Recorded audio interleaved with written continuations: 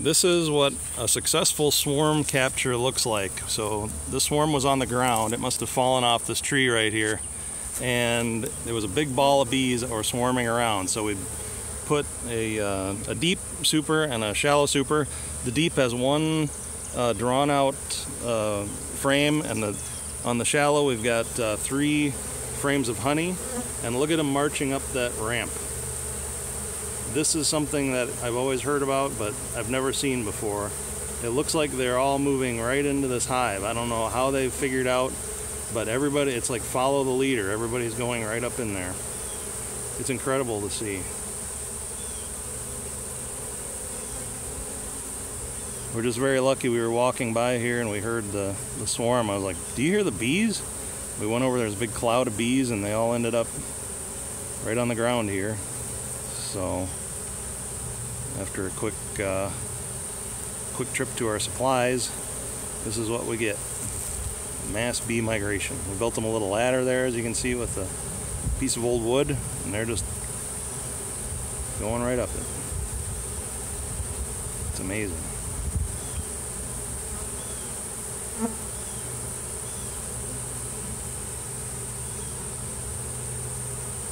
Very few bees are buzzing around us or anything. Got one checking us out every once in a while, but you know, I'm wondering if the key wasn't that uh, some of the the shallow frames were leaking a little bit of honey. We had them in the freezer, so um, I'm sure that they're all in there already trying to capture that honey and find a place for it. So.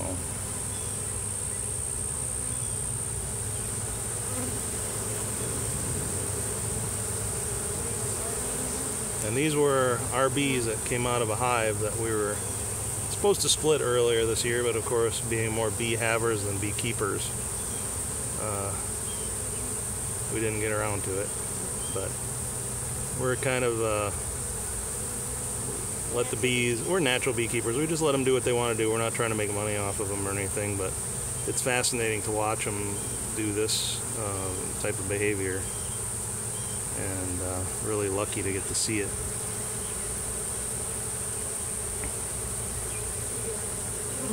What's that? Didn't think what? We didn't think the ladder was going to work. There were just a couple that were flying in and out of the, the entrance there on the landing board, and and then uh, all of a sudden it was like somebody got the message and they all started moving up en masse.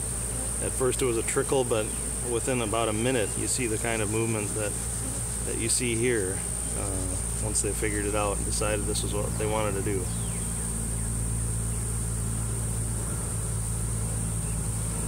Not sure where the uh, where the queen is in there, obviously, but it's a good-sized swarm. Let's hope they accept it. And I'm just gonna try to get a few other angles here. Get down on the ground.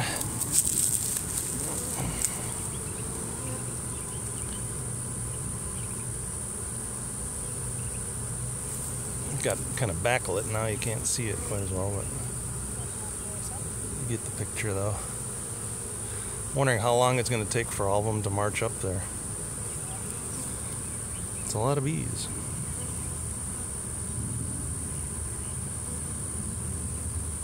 I'm just going to sit here and film. What I'm really curious about is what happens at the end. Who's the last one up?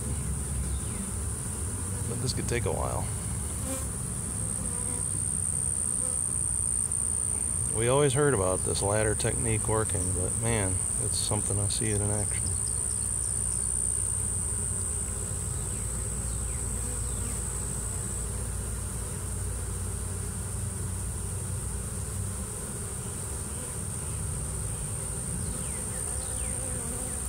Is that pile getting smaller? Can you tell? Yeah. Visibly?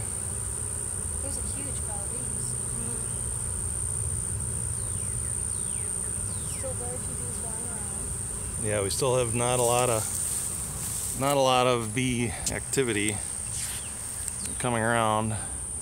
You can see the day. What do you think? It's like 78, 77, 76, 76 degrees, something like that. But not a lot of flying going on anymore.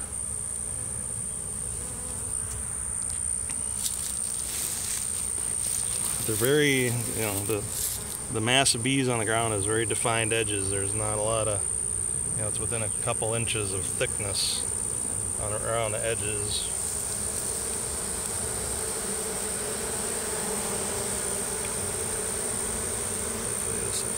Start focusing.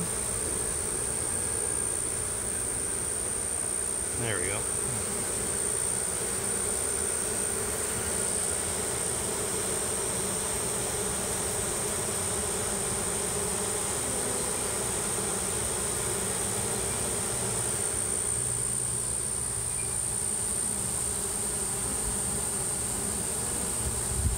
What's that?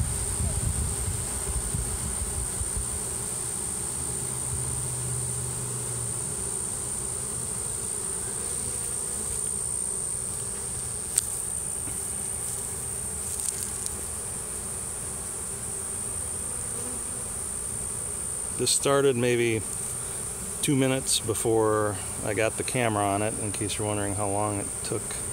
You know, it, the, the mass migration, like you see here, took about two minutes from like I was describing earlier, but unfortunately uh, Jennifer was on her phone and I don't have my phone with me, so it took this long to, took about two minutes to get to where I started filming.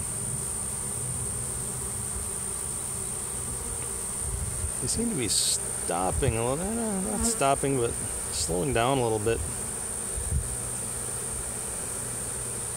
But I bet that honey dripping in there really has them thinking that this might be a good place to spend some time.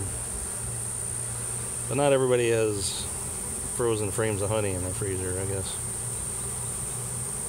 Well, this is going to take a very long time. I'm not going to keep filming. I'll try to come back to it as it's dwindling out here. But uh, A++, really enjoying this.